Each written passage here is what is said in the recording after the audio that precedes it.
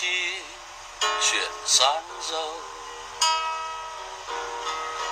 Ta nhỏ bé mà đời thì quá rộng.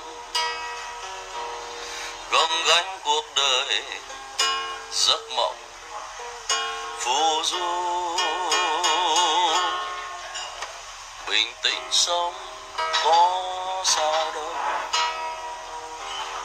Buồn đến rồi đi đừng u sầu đời thì ngắn, nỗi buồn sao dài thế. Quăng gánh ưu phiền, thôi kệ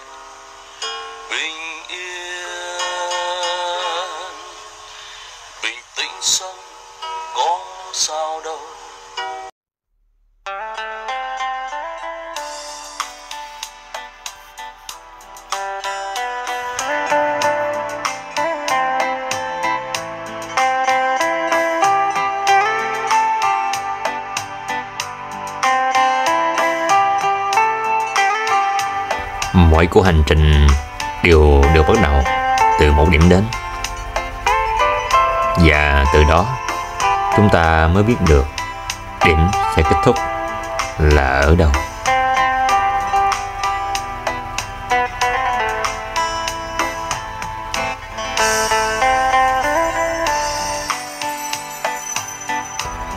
Sau khi hoàn tất các thủ tục nhập cảnh vào Nhật Bản chúng tôi được người phụ trách đón về trung tâm đào tạo CBH tại tỉnh Saitama.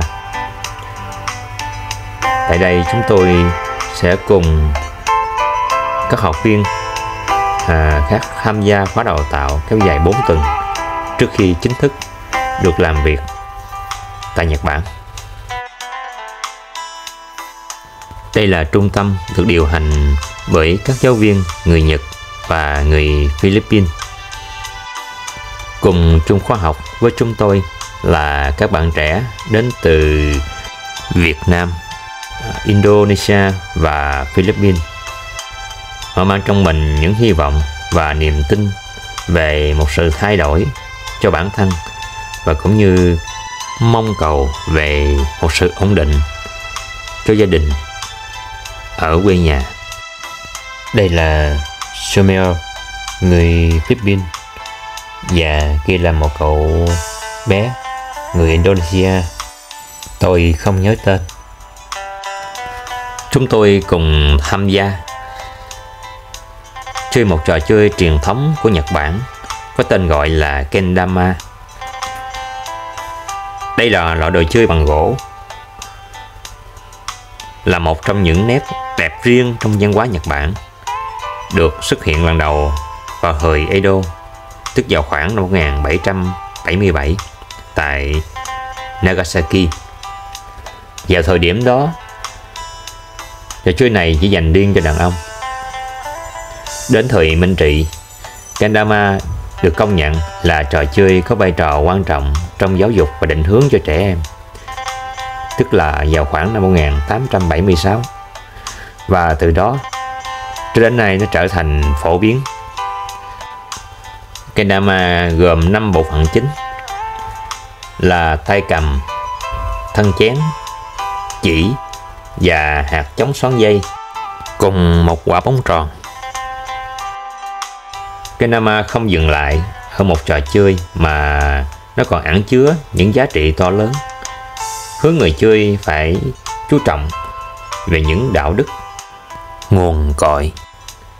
Về sự tập trung, kiên nhẫn và không bao giờ từ bỏ. Cuộc sống này cũng giống như trò kendama. Nếu bạn không dành sự tập trung, kiên nhẫn với những mục tiêu của bản thân thì đồng nghĩa bạn sẽ đánh mất đi cơ hội.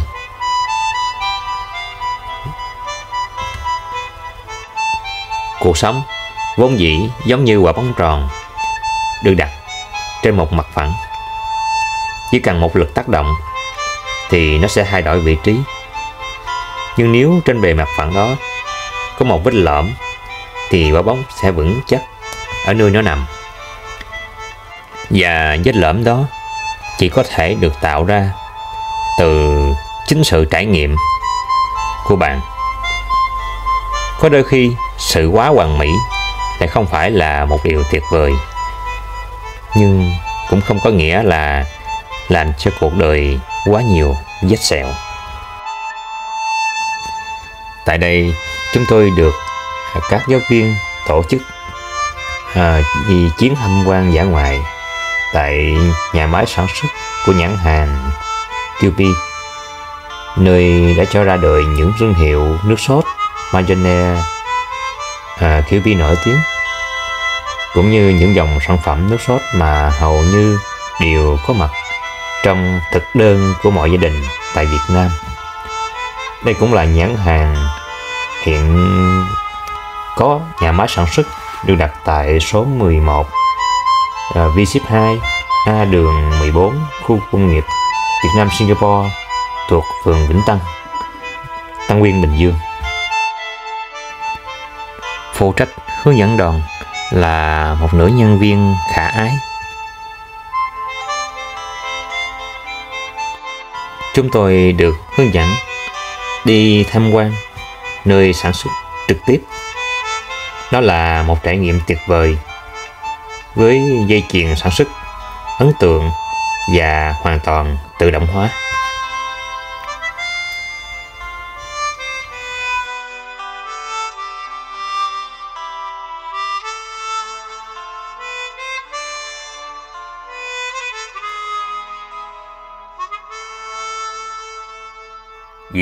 Quy định riêng, đoàn được yêu cầu hạn chế ghi hình nơi sản xuất.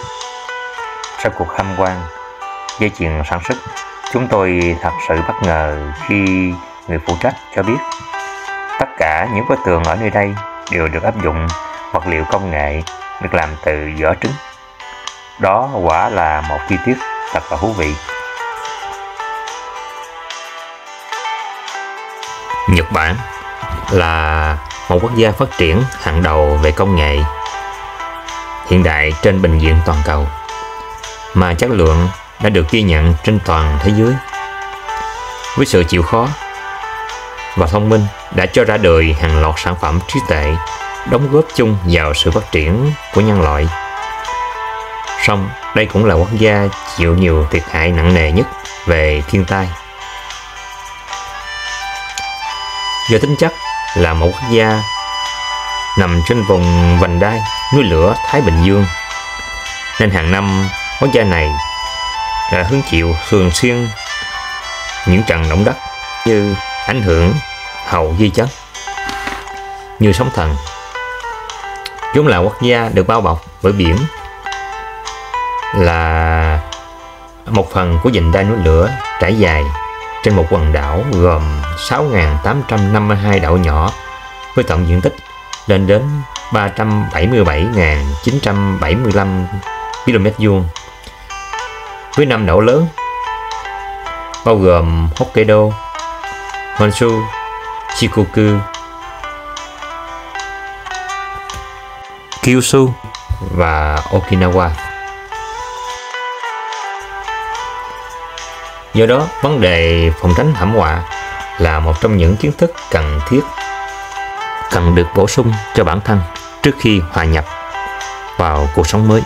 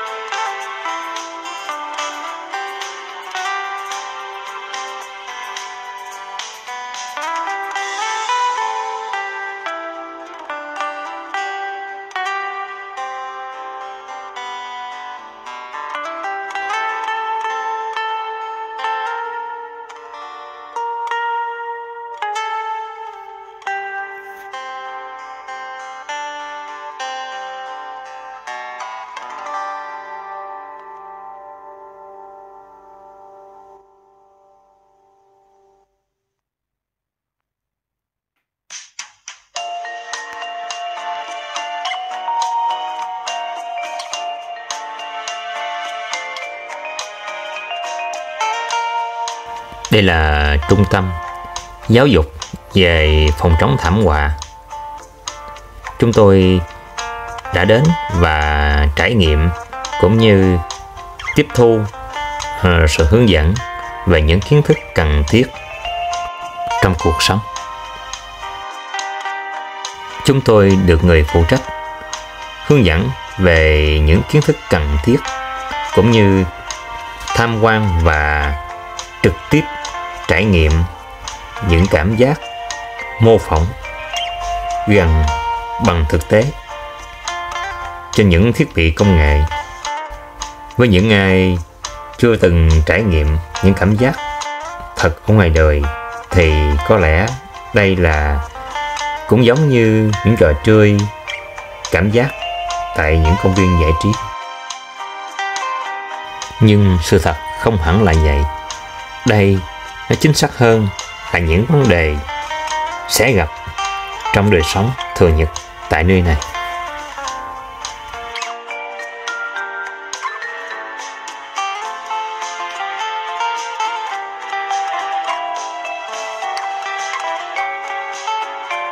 Những thứ phía sau tôi là vật tích lưu giữ về một trong những trận động đất thảm họa mà Nhật Bản phải hứng chịu trong suốt chiều dài lịch sử của mình.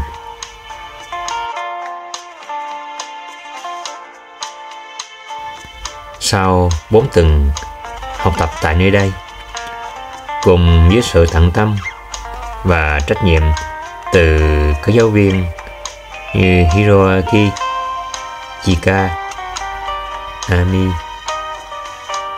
Chef và đặc biệt là cô Kazuyo. Chúng tôi từng người kết thúc thời gian học tập của mình tại nơi này. Khi bước lên đón nhận, tờ chứng nhận đã hoàn thành khóa đào tạo bằng những nụ cười và lời động viên từ những giáo viên, những người đã gắn bó và hỗ trợ trong suốt khoảng thời gian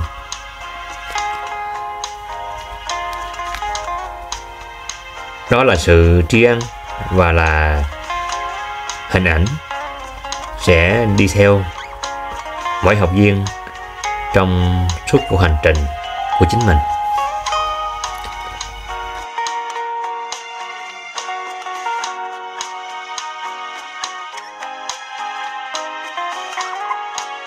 Với tôi, đó là một khoảnh khắc đặc biệt. Đặc biệt ở chỗ là tại thời điểm tham gia, tôi đã là một người trung niên cùng những trải nghiệm mà mình đã trải qua. Trong khi các bạn trẻ này, đây là cột mốc bắt đầu của họ.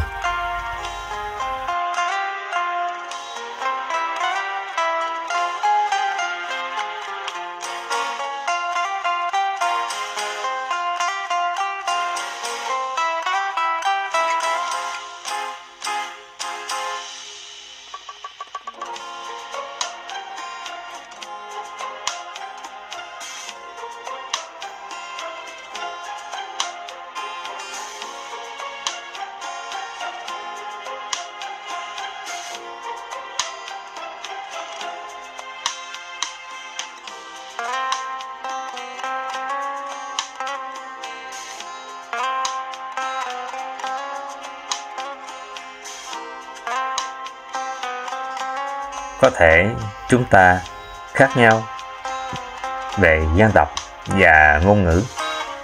Nhưng điều đó cũng không có nghĩa rằng chúng ta không cùng hiện hữu những cảm xúc.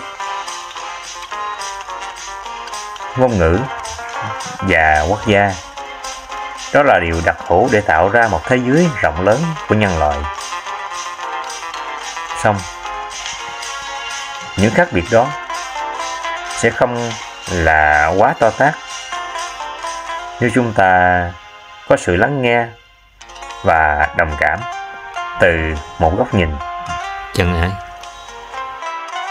cuộc sống vốn dĩ là chuyến hành trình của mọi người và luôn chứa đựng những gam màu và những nét trầm bổng trong trong từng giai đoạn như âm hưởng của đoạn nhạc mà cậu bé Alice, người Philippines, đã đặng tôi qua tiếng đàn guitar. Và tất cả được bắt đầu từ đây. Trạm dừng chân trên hành trình tiếp nối. Nếu có bước, cũng xin đừng quá dội. Giữa những nụ cười, nơi ta đã đi qua.